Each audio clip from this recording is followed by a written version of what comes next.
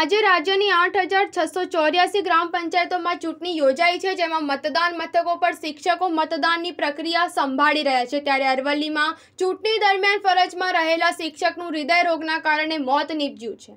મૃતક શિક્ષક મલેકપુર પ્રાથમિક શાળામાં આચાર્ય તરીકે ફરજ બજાવતા હતા. શિક્ષકને રાત્રિ દરમિયાન હૃદયરોગનો હુમલો આવ્યો હતો, જેમાં તેમને પ્રાથમિક સારવાર પણ આપવામાં આવી હતી, પરંતુ તેમનું પાણ પંખેરું ઉડી ગયું હતું. સમગ્ર મામલે પોલીસને જાણ થતાં શામળાજી પોલીસ દ્વારા આગળની કાર્યવાહી હાથ ધરવામાં આવી છે. હાલ રાજ્યભરમાં ગ્રામ પંચાયતની ચૂંટણીઓમાં શિક્ષકો મહત્વની જવાબદારી નિભાવતા હોય છે. શિક્ષકોને એક દિવસ પહેલા જ મતદાન મથકો પર મતદાનની કામગીરી માટે મોકલી દેવામાં આવતા હોય છે. આજે સાંજ સુધી મતદાનની પ્રક્રિયા ચાલનાર છે તો એકવીસ ડિસેમ્બરે મતદાનનું પરિણામ પણ આવનાર છે.